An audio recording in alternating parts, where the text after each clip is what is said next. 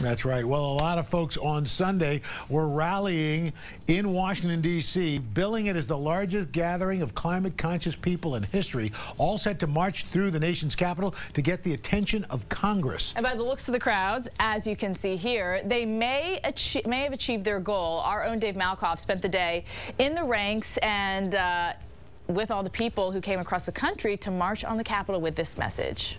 I just want to say thank you so much, all of you being here. Film actor Rosario Dawson and thousands of her friends under the Washington Monument have a message for their leaders. This is my son Eric, who's a seven, and my son Andrew, who's eight. It's their generation who's going to live with these warm winters and these terrible storms. Welcome to our nation's capital. Rhode Island Democratic Senator Sheldon Whitehouse is a man fighting against the machine here on Capitol Hill. We've got to do something about the carbon pollution that is causing it.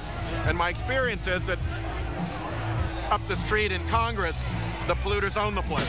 This is a town where money talks, but so do big crowds and movements. You could be heard if you have this many people. We need to keep growing the movement. This is the largest rally on climate change in U.S. history.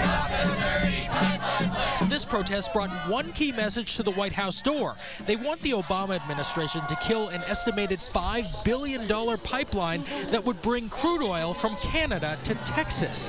Many lawmakers want the president to move forward on the northern expansion known as Keystone XL because it would create so many new jobs. That is not the resounding message here. The first and biggest test of the president is to make sure that he rejects the tar sands pipeline because we know that clean energy would do a better job. And we will fight it together. Bill McKibben also helped put this march together.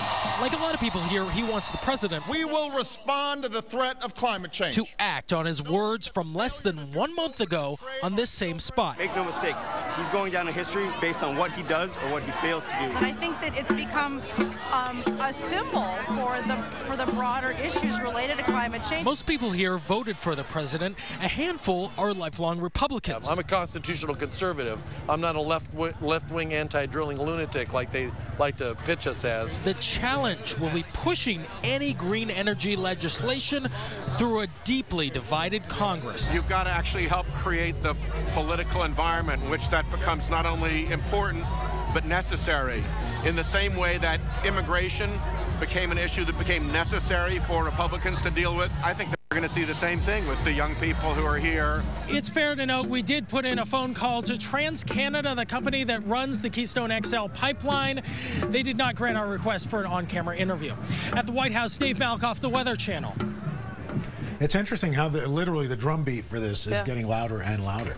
I mean, it's an. I, I, need to read more on it to, to be honest with you. But going right through the center, you know, it could uh, leak and cause some problems. All right. Well, coming up.